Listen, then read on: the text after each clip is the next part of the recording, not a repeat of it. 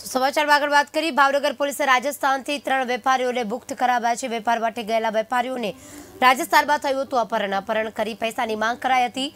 પરિવારજનો પાસે પૈસાની માંગ કરાતા પોલીસને કરી જાણ. મેટલ એસોસિએશનના પ્રમુખ સહિતના આગેવાનો એલસીબી કચેરી પહોંચ્યા. એલસીબી ટીમ દ્વારા તાત્કાલિક કાર્યવાહી હાથ ધરાઈ. રાજસ્થાન પોલીસને સાથે રાખી ત્રણેય વેપારીઓને મુક્ત કરાવ્યા છે. અપહરણકર્તાઓને ઝડપી અને તમામ મામલે કાર્યવાહી હાથ ધરવામાં આવી છે.